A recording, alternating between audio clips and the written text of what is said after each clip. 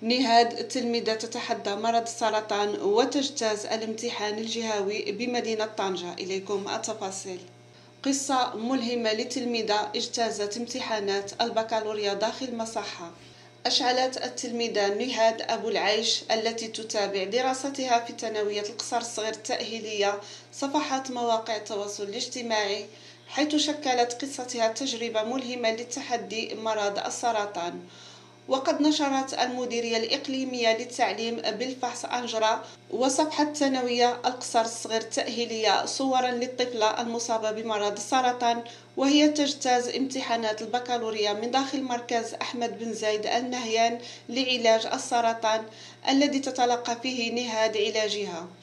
وقالت إدارة المؤسسة التعليمية التي تتابع فيها نهاد دراستها إنها من نجباء مديرية الفحص أنجرة وتجسد قصة ملهمة عن الإرادة والمثابرة في مواجهة الصعاب كما أنها واجهت تحديا هائلا مع اقتراب موعد امتحانات البكالوريا وأشارت صفحة المؤسسة إلى أن نهاد لم تستسلم بدافع من إصرارها ودعم عائلتها وأصدقائها وتخطت ألم العلاج وحققت تحديا استثنائيا في شهادة البكالوريا.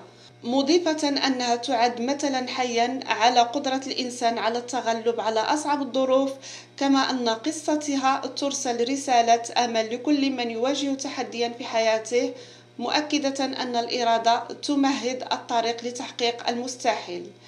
وفي هذا الصدد تتقدم ثانوية القصر الصغير التأهيلية من خلال المدير الإقليمي لوزارة التربية الوطنية بالشكر الجزيل لجميع من ساهم في تمكين نهاد من هذه الفرصة.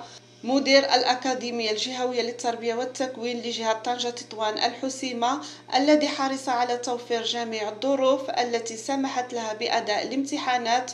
وفاطمة الزهراء المرابط مديرة مركز أحمد بن زايد النهيان لعلاج السرطان.